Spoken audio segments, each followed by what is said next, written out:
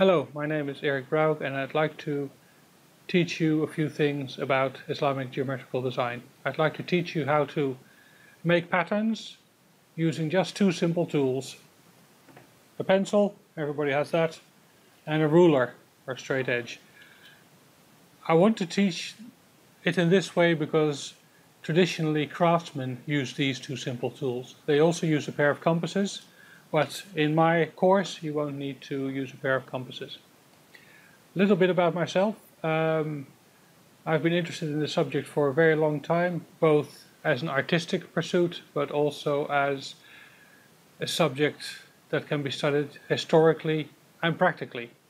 I've written two popular books on the subject. My first book is this book, which is called Islamic Geometric Patterns, that came out in 2008 and then more recently I published this book which is the first big full color art book on the subject.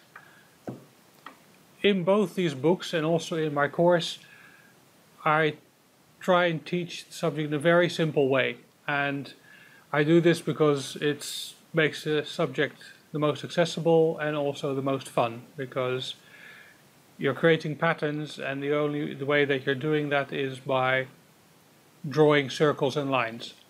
Everybody can draw circles and lines and that's why anybody who takes this course will at the end of the course have been able to draw a few patterns and hopefully also better understand how you can analyze geometrical patterns, how you can analyze geometrical compositions so that the next time you, you see a pattern or the next time you visit a building where you see these geometrical designs, you can learn to understand how they were created and you can start recognizing elements which helps you to better understand how patterns can be categorized, how they belong together and also to help you understand how they were designed so that hopefully you would be able to design them as well.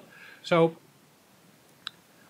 I try to keep it very simple. I use a lot of visual material, so a lot of photos from mosques, from Quran pages, from uh, madrasas, from uh, all over the Islamic world and across the centuries.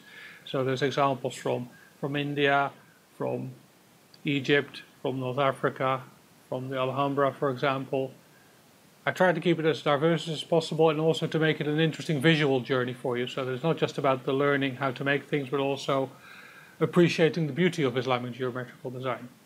So, if you think that's interesting, and if that's something that you would like to learn, then do this course because you'll really enjoy it. I've been doing this for 20 years and I've never been bored. There's always new things to learn and it's a very creative pursuit. It's, uh, it's a wonderful thing to sit down with a piece of paper or with your computer, but if, if you use a piece of paper to have a pencil and a ruler, to start with a blank page and to end up with a pattern that you can recognize as being an Islamic geometrical pattern. So take my course and good luck. Thank you very much.